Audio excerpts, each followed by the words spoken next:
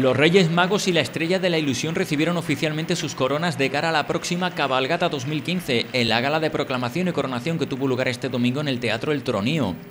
La cita a la que acudieron un buen número de asistentes, entre ellos los miembros de la Asociación de Amigos de los Reyes Magos, con su presidente José Marín a la cabeza y representantes municipales, incluido el alcalde de Gines, Manuel Camino, comenzó con un aplauso para Ángel Vázquez, elegido inicialmente para encarnar a Melchor, pero que finalmente no podrá hacerlo por motivos de salud. El acto continuó con música, concretamente con villancicos que corrieron a cargo de la agrupación local Voces Peregrinas, encargada de amenizar toda la velada. A continuación, Matías Payán fue el encargado de presentar un entrañable homenaje que desde la Asociación de Amigos de los Reyes Magos se quiso tributar a diez mujeres niñas entonces, que en 1982 sentaron las bases de la actual cabalgata al solicitar ese año al ayuntamiento que se hiciese en Gines esta actividad.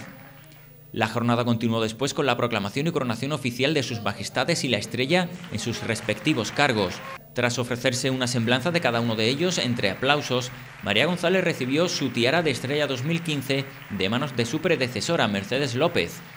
José Antonio Esquinas, Melchor en 2014, cedió su cargo a José Camino, mientras que Isidoro Camino hizo lo propio con Agustín Guerra, que dará vida a Gaspar. Salvador Olivares, en nombre de su padre José Olivares, cedió el testigo a Baltasar de 2015, Jesús Gallardo.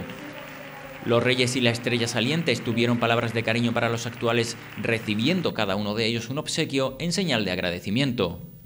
Los Reyes y la Estrella 2015 visiblemente emocionados mostraron sus mejores deseos de cara al esperado 5 de enero pidiendo además que la juventud se implique con la cabalgata de Gines para asegurar así su futuro. La cita continuó con más música, tras lo que subió al escenario Cándido Caballero, que el 4 de enero dará vida al Heraldo Real para recoger las llaves del municipio y entregarlas a sus majestades. José Marín dirigió a continuación unas palabras a los presentes elogiando el trabajo del colectivo que representa y de todos los voluntarios y entidades que colaboran como el ayuntamiento para que cada año los Reyes Magos puedan seguir visitando Gines en sus espectaculares carrozas. Carmen Mora, presentadora del acto, recibió un ramo de flores de manos de la asociación a modo de agradecimiento, cerrándose a continuación la jornada con una nueva interpretación musical de voces peregrinas y la entrega de un presente a sus miembros.